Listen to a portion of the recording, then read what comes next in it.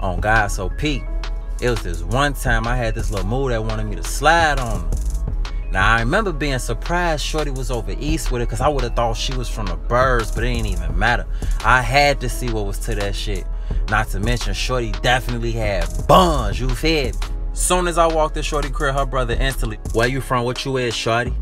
I'm just looking at his ass, he on dirt, cracking trays and shit while he on his way out the door. I'm, bro, I ain't even on that shit. Capping, you fed me? So Shorty wave him off, we heading to the back of her crib. Kids running all through that bitch, a zoo. Tell me why I walk in the kitchen, her OG in there frying pork chops in one of them pans you take food home man, bro. With a heavy duty romper on, sipping Kool-Aid out of jelly jar. I'm looking like never. She looked back at me like, did you go to law school? Ah, no ma'am. She, boy, how's you in here judging?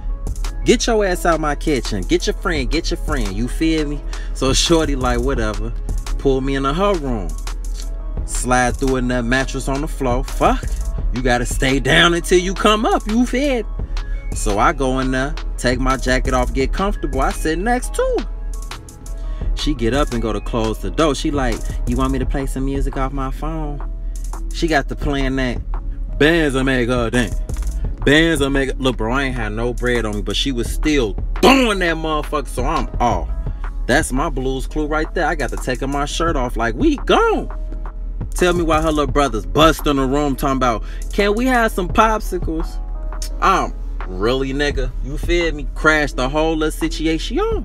Shorty left out the room to go get the shit. They instantly got the ice grill in my shit. You feel me? So I'm looking at they ass date. You thought you was finna hit my sister?